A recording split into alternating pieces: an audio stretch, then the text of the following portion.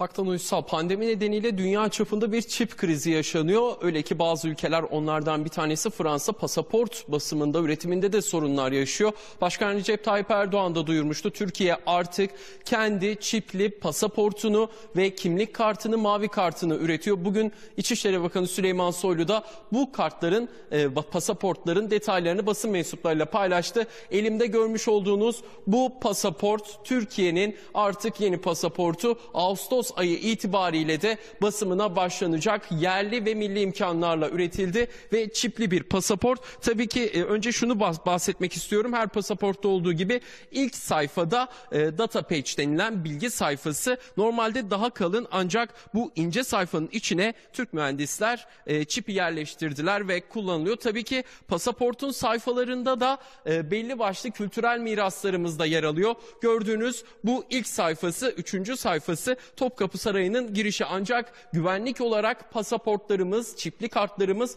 en üst düzey güvenlik önlemlerine sahip. Kontrol edilirken de pasaportun doğru olup olmadığını kontrol ederken de gördüğünüz gibi böyle ultraviyole ışıklarla kontrol edilecek ve pasaportun doğru olup olmadığı da görülecek. Hemen 21. sayfayı göstermek istiyorum izleyicilerimize. Burada Ayasofya Camii'yi görüyorsunuz. Bunu da aynı şekilde ekipler kontrollerini yaparken yine ultraviyole ışık altında gördüğünüz gibi daha parlak ve yan taraflarda e, çiçek motiflerini de görmüş olmamız mümkün. E, Türkiye'nin 81 ilin dört bir yanından motifler yer alıyor. E, burada da 18 Mart Çanakkale Köprümüz var. Daha yeni açılışı yapılmıştı. Onu da yine e, o ultraviyole ışığın altına koyduğumuzda oldukça güzel bir görüntünün de ortaya çıktığını belirtebiliriz. Yüksek güvenlikli bir pasaport. Sadece pasaportumuz değil aynı zamanda e, e-sürücü belgeleri ve mavi kartlarda e, bunlarla yerli ve milli çiplerle üretilecekler. Şunun da altını özellikle çizelim.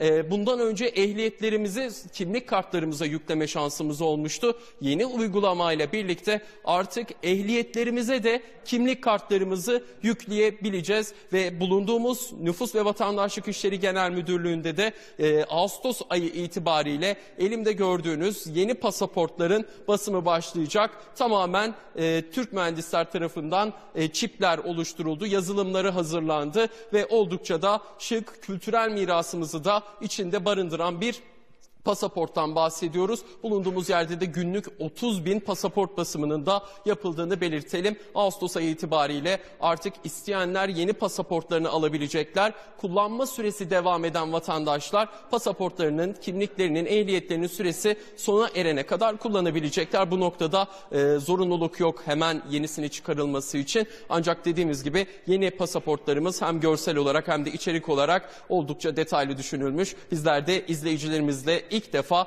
yeni pasaportumuzu paylaştık diyelim. Söz tekrar size bırakalım.